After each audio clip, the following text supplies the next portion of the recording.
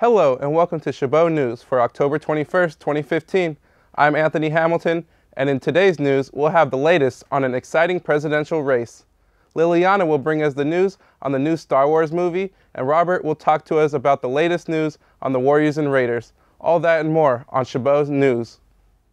Vice President Joe Biden has announced that he will not run for the 2016 Democratic bid for president. I believe we're out of time, the time necessary to mount a winning campaign, the vice president said. From the White House Rose Garden with his wife, Jill Biden, and President Obama by his side. The decision ends months of speculation about whether Biden would step up to the challenge Hillary Clinton, the current frontrunner for the Democratic nomination. Biden goes on to say in his announcement that even though he will not be running for president, he will be far from silent in this election, saying, I intend to speak out clearly and forcefully to influence as many as I can where we stand as a party and where we need to go as a nation. This is good news for Hillary Clinton. She is far from having the Democratic nomination locked. She has had to fend off attacks from Republicans scrutinizing her using a private email account and server, as well as her actions ahead of the September 12, 2012 Benghazi attack. A New York police officer died after he was shot in the head Tuesday night while chasing a robbery suspect. Authorities say Officer Randolph Holder was shot while responding to reports of a gunman and in East Harlem, and he died a few hours later.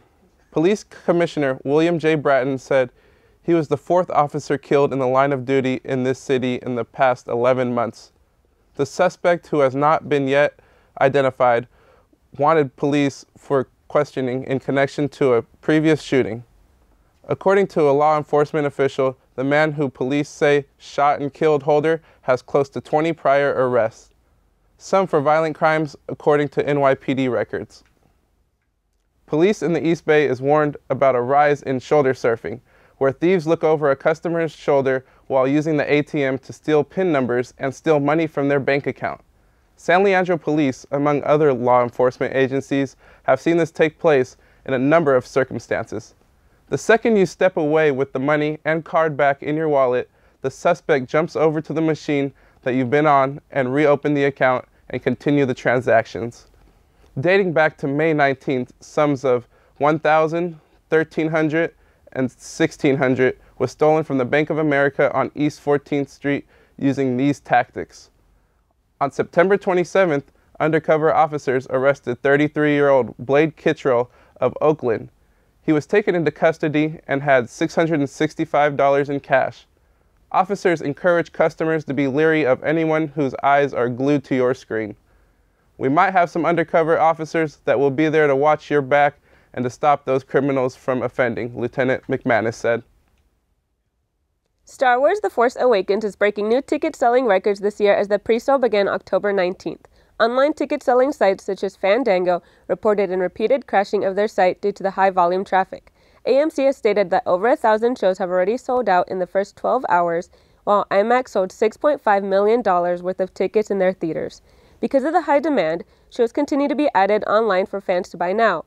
Theaters are adding to the excitement with different events and promotions. Some theaters will be playing all movies in the franchise just before the release of the new sequel, while others will be featuring 3D glasses modeled after different characters. The new sequel will be bringing former characters from the first three films. The film will be officially opening on December 18th with some shows on the 17th. A Southwest Airlines flight turned around and made an emergency landing in Los Angeles late Sunday after a woman aboard the plane and allegedly claimed a man tried to choke her because of a reclined seat. According to the airline and witnesses, Southwest would not confirm that a choking incident involved, but said Flight 2010 from LAX to San Francisco International Airport returned to Los Angeles to allow police access to the cabin because of a rapidly escalating situation involving passengers who were not traveling together. Witnesses of the altercation back up the woman's story.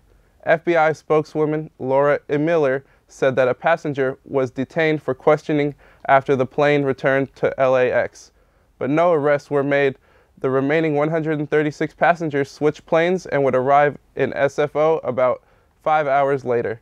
according to Southwest. Warrior fans, are you ready for opening tip-off? We are now less than one week away from opening tip-off inside Oracle Arena, also known as Roaracle Arena, as the Golden State Warriors set to defend their NBA title in the 2015-2016 season. The Warriors are scheduled to face the New Orleans Pelicans, a rematch of the first round of the 2015 NBA playoffs. Fans in attendance will be treated to a pre-ceremony event to watch their Warriors receive the championship rings and watch the banners raised inside Oracle Arena. The Warriors will also be wearing the Larry O'Brien Trophy on the right side of their shoulder opening night to, to commemorate the 2014-2015 championship season. Good news coming from Oaktown regarding the Raiders. According to several reports from Fox Sports, the Raiders might be staying at Oakland new stadium or not. After joining with the San Diego Chargers for building a $1.2 billion stadium in Carson, California, the NFL might be considering moving only one team in, in LA instead of two which means owner Mark Davis will have to call a temporary truce in Oakland, signing a two-year lease at the O.Co Coliseum. A momentary pause makes sense then. It allowed the team to regain leverage, field offers from Oakland, and again, perhaps San Antonio, uh, readjust its finances and maybe even ownership structure. In the meantime, the Raiders will face the San Diego Chargers this Sunday in San Diego at 1.30 p.m. That's it for sports. Back to you, Anthony. That's it for Chabot News this week. Thanks to all the students and staff in the Mass Communications Department here at the Chabot College for making this production possible. You can watch us anytime online at ChabotTV.net. Stay tuned to KCTH 27 on Comcast for more Chabot TV.